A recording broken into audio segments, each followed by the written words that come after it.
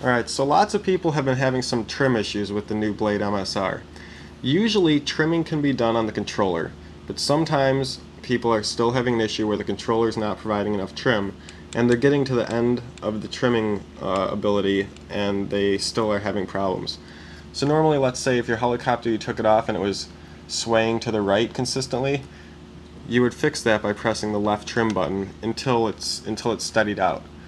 Some people are having problems where if they trim it all the way and it won't trim anymore, it's still going to the right, or the left, or the front, or the back. You know, it, it could happen any direction, whichever way your helicopter is set up incorrectly. Uh, specifically, one person was having a trouble with his helicopter uh, always going to the left. So we're going to go over and talk about how you would fix that if your trimming button doesn't fix it.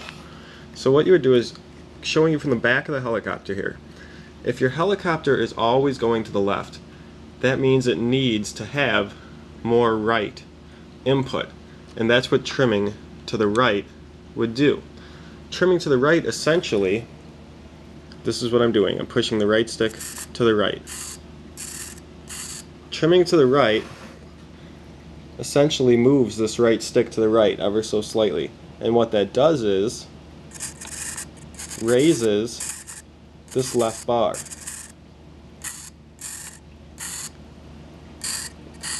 So, if you're having a problem where your helicopter is consistently flying left and the right trim button is not fixing it, see this is when you get to the wall. It's not going to trim anymore. So if you reach the end of the line and your helicopter is still going to the left, then what you're going to want to do is as you can see what needs to be done is this arm needs to be up higher. So you can fix that by taking off the canopy. Well, I'm just going to put my trim back to about where it was before I turned it on. Alright. So you take off the canopy. And like I said, this bar needs to be trimmed higher. This, this was higher to go right. And you need to trim it to the right so it stops going left. So you pull this off Actually, let me grab a tool really quick here. Just a needle nose pliers. Pull this off, and then you want this bar to be longer because, like I said, it needs to be higher. So it's righty-tighty, lefty-loosey, and all you do, it's kind of hard to see with my fingers here, I'm not going to twist mine actually because mine's set up correctly, but all you do is take this and twist the top. And start off with just like two twists, so like halfway around, full one way around, and then snap it back on, see if that helps. Keep going until you need to, uh, until you even out your helicopter. Now this swash plate is fairly, uh, it's, it's pretty sturdy, but I kind of bent mine once when putting this back on, so be careful when putting this back on. Make sure to get a needle nose pliers and grab the swash plate right by the circle here, but behind it so you can snap it on, and then push Sorry if it's hard to see. Grab the swash plate, it's, it's sticking right through there, and then push this, this piece on.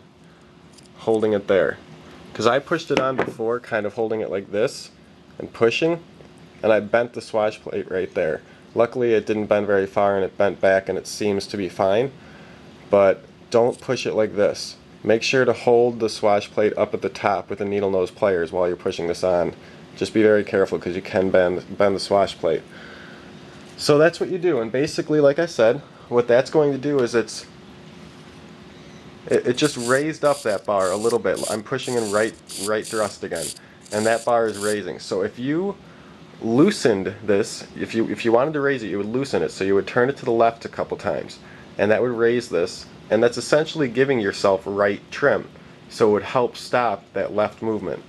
So if you're having problems with trim, basically that's how you do it the if you can't trim it out, look at what you want you want to do. And it's the same. This is going forward. So if you needed to trim to go forward, you would put the right one a little bit downer by twisting it to the right. If you needed to trim a little bit backwards, backwards kind of sways the right one up and the left one down a little bit.